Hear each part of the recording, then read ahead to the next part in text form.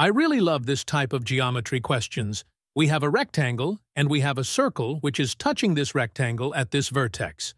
Now we draw a straight line starting from this vertex of the rectangle, like this, which cuts the circle at two different points.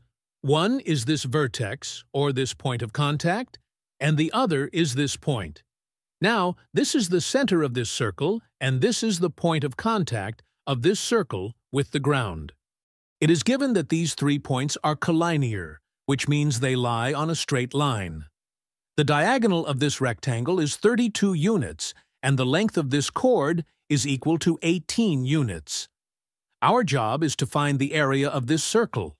So, can you find it? Okay, now consider this circle and these two lines.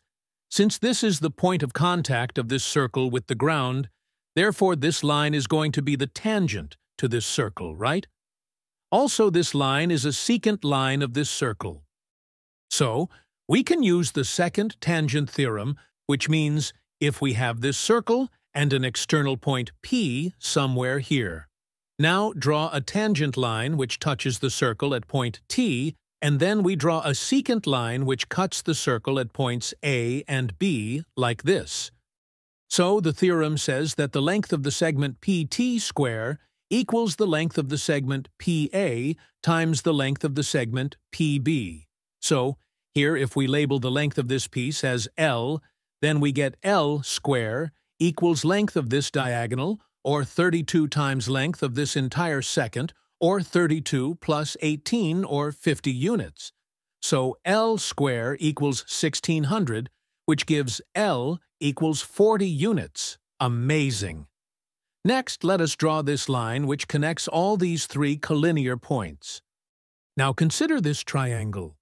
What will be the value of this angle? Yes, you are right.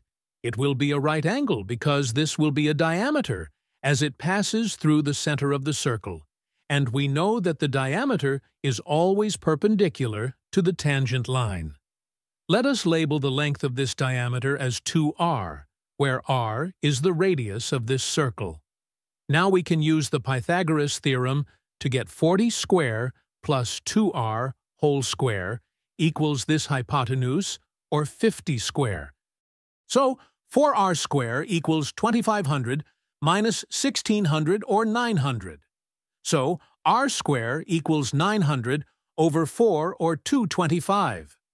Now the area is equal to pi times r square, or 225 pi, and that's it. This is our final answer. Wasn't this an amazing problem? So good!